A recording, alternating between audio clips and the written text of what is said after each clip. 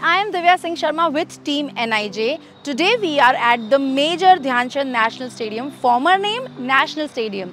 It was renamed after the arrival of PM Modi. This was named after the field hockey legend Major Dhyan Chand and it was also the venue of the first Asian Games.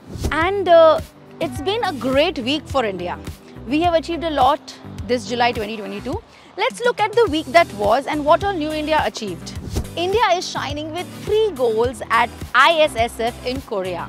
Abhishek and Jyoti, the Jodi, won India its first ever, the maiden gold in Archery World Cup. PV Sindhu won the Singapore Open title of 2022. Kerala and Ahmedabad, cities of India, have featured as Times greatest places in the Times.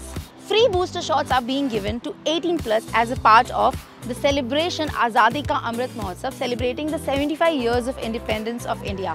Booster shots se yaad aaya, India phenomenally achieved the 200 crore mark in vaccinations.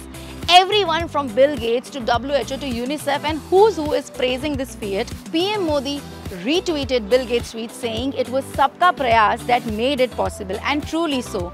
Keep watching NIJ Insta India for such instant updates. This is yours truly Divya Singh Sharma only on New India Junction.